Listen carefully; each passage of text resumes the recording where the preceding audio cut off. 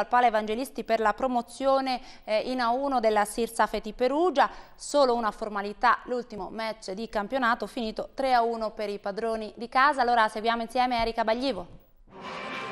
In tanti, tantissimi hanno voluto esserci, non tanto per vedere la gara contro Reggio Emilia, ma per salutare e stringere la mano di Vujevic e compagni. I ragazzi di Kovac hanno conquistato la promozione matematica domenica scorsa, ma in trasferta mancava dunque l'abbraccio diretto con i numerosi tifosi che li hanno seguiti e sostenuti in questa straordinaria stagione. E così ieri Perugia-Reggio Emilia, nella cornice del Palevangelisti, è stata l'occasione della festa, il momento per chiudere in bellezza una settimana di euforia. La gara finisce 3-1 per i padroni di casa, ma al risultato non ci pensa nessuno, c'è solo la voglia di celebrare una squadra partita da Bastia Umbra nel 1988 e arrivata in A1 centrando un obiettivo storico. Una promozione meritatissima, frutto di un lavoro continuo e dell'impegno di tutti. La Sira ha dominato il campionato inciampando solo poche volte.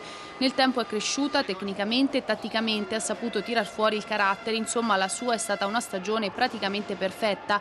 Per questo la festa è stata ancora più grande e non è finita. Domani i vertici della società, giocatori e coach verranno ricevuti in comune per la consegna di un riconoscimento da parte della città.